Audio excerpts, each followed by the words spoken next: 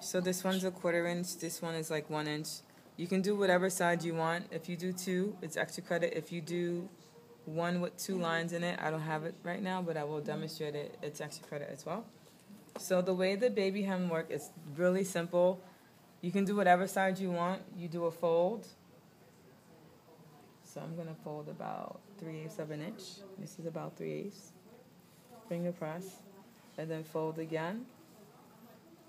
Finger press. You can actually iron this. Yes, yes, yes. And then instead of sewing on this side of the fabric, you're gonna sew on the wrong side because this is the face side. Mm-hmm. This is the side the world will see. This would be the inside of your pants. But as I said it before, this could actually be on the outside of your fabric. You are the designer. You can do what you want. So now I'm just gonna come and I'm gonna edge stitch.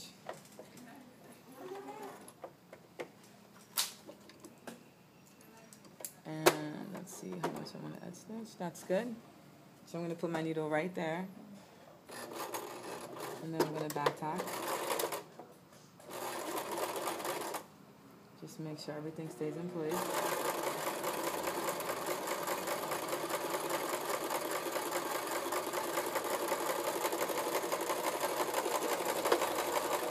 Okay. So that could have been a little straighter, but you know, hey. And then I'm gonna do it in another size. so this one I'm gonna do about an inch.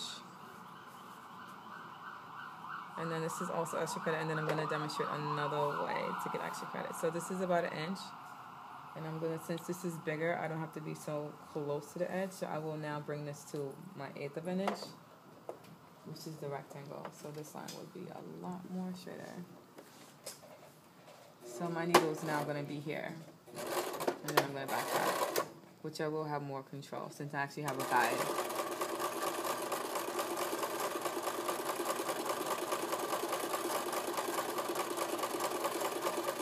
So I'm,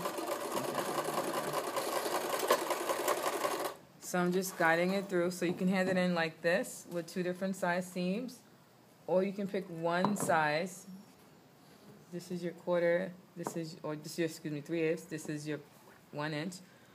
Um, if you wanted to do it like this, is extra credit, you can, or you can just give me one, which will be this one I will do with a double line or three lines.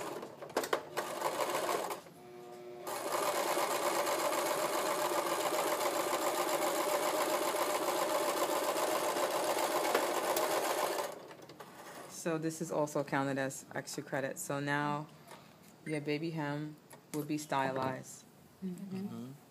Okay? Or you can do a design in there, whatever you want.